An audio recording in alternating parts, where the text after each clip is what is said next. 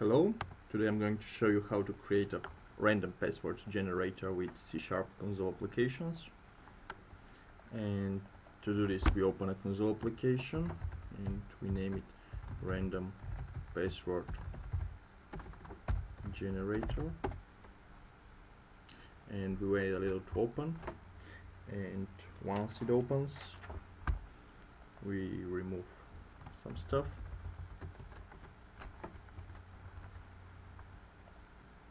we change the name of the class from here into random password generator. And we start creating the code. So in order to do it we need to make a private const string capital letters and it will include all the capital letters that we know of. I just use my keyboard one by one so it's faster. Then we create uh, and we put semicolon at the end. It was a little better idea to make it this way. Yep then I make a second private const string. It would be small letters.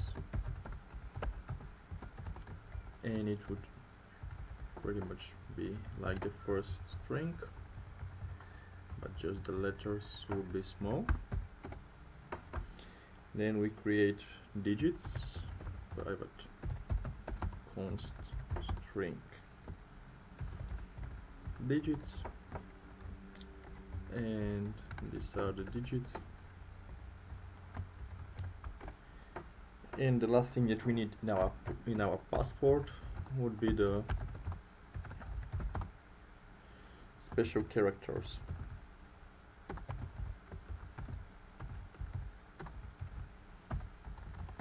And these are the special characters we would be using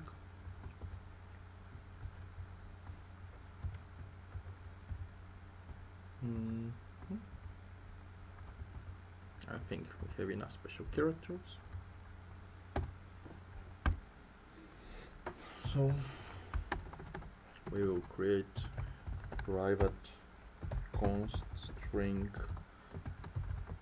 chars and it would be equal to capital letters plus small letters plus digits plus special characters. And we need a private random. A private static random. And it will be named RND and whenever we say RND we will get a new random. So all this thing should have been in the class not in the main but defined here. And just a second to fix the code to look a little better. In the name actually program is not a good name for a class but random generator random password generator so let's see what we do here. In the main method we make a string builder. And the string builder is named password. And whenever we say password we'll get a new string builder. So we need two capital letters in our password. In order to do this we'll make this loop cycle. So for int equaling 1 to i. 2 we increase i. And we take the char capital. Letter to generate char capital letters and we use insert at random positions password and capital letters. Capital letter. Okay these are methods which we'll create later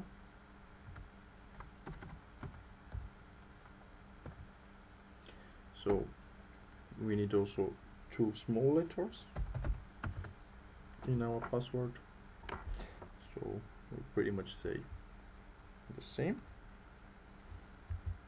Uh, but we just will make it for small letters. So it is char small letter equals generate char small letters and insert at random position. I'll copy from here. I'll just change. I'll just change the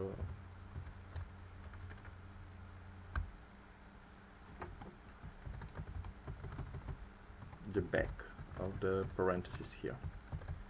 So it's not capital letter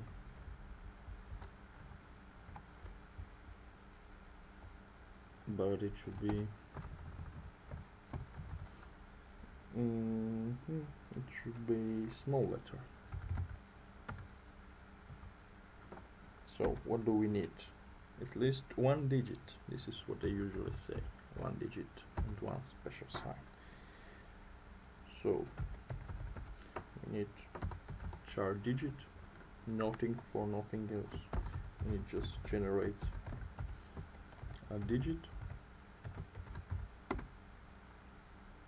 and then we use again insert at random position.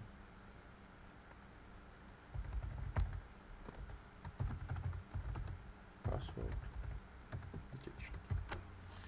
And let's continue. What else do we need? Yep some special characters. Let them be three. So for i equaling 1 and i less or equal mm, that reminds me that we should also fix it here so equal to 3 increase i and do the thing that we have already done a lot of things a lot of time special character generate char special char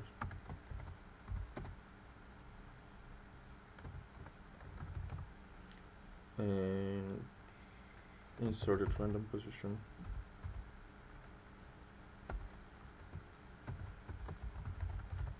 Next random positions. Password. Special char okay what comes next?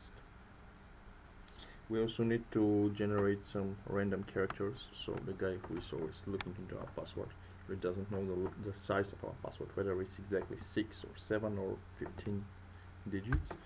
So we'll just generate some random characters between 0 and 7 in order to do this. We'll do int count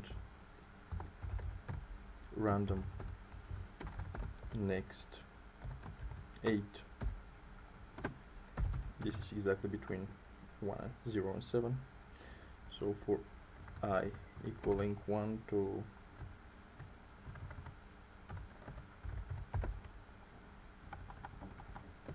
uh, less than count i plus plus. And the char special char equals generate char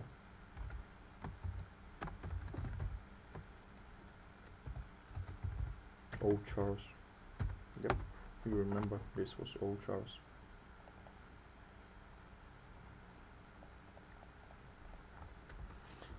And then what we do is insert at random positions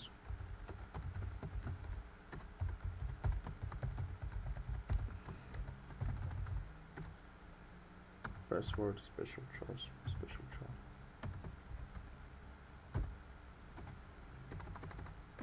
Yep and then we just write password. Pretty much it's easy and pretty much that's it. But we haven't made some of the methods so we have to continue making the methods with the methods inserted random position. Private static and it's void because it doesn't return the value. Insert at random positions. And we take string builder.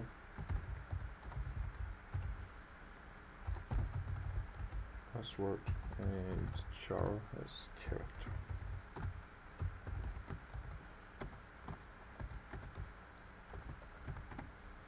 okay what do we do there? Random position. Equals random. Next of the password length mm -hmm, plus one of course.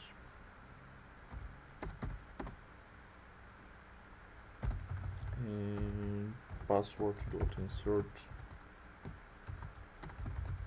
Random position Oh, comma character.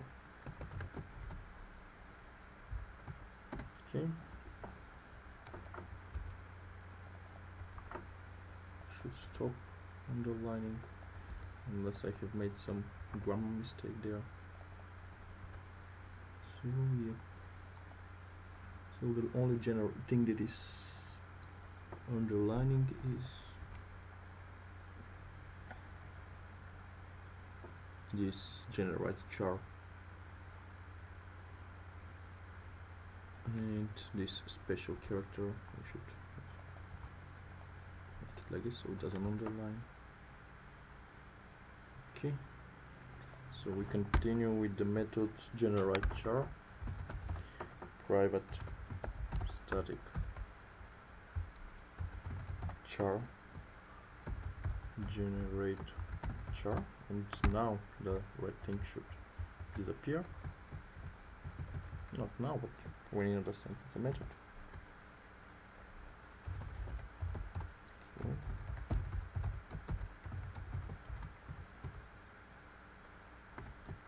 yep. Everything disappeared. Well that's great. Why this is like this new line in constant this is what it says. Generate char. Oh, okay that's good. And random index. We declare this variable only for the method here. It's random next.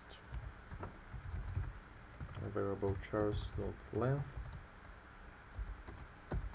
so char random char equals variable chars random index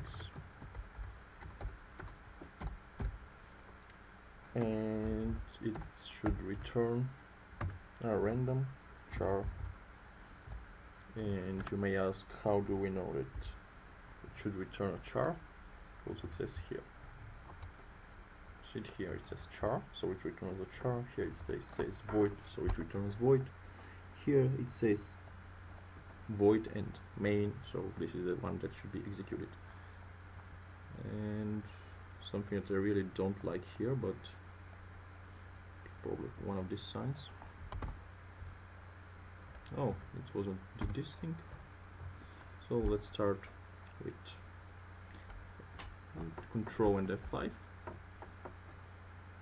and this is our password. You can also write in the here. Your new password is and you can also say here your password consists of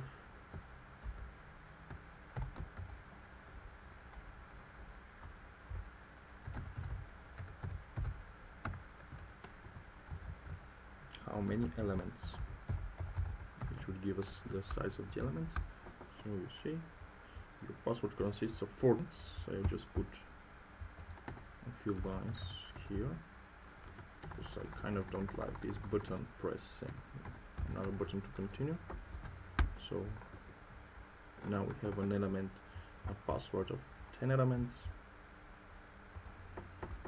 and now we have a password of 9 elements. Now we have a password of 9 elements. And you can play 8 elements. You have at least 2 digits uh, small letter 3 signs and uh, low letter.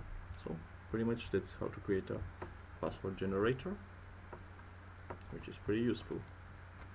Yep so congrats. Anyway use the code on that site vitoshacademy.com so yes thanks for watching. Bye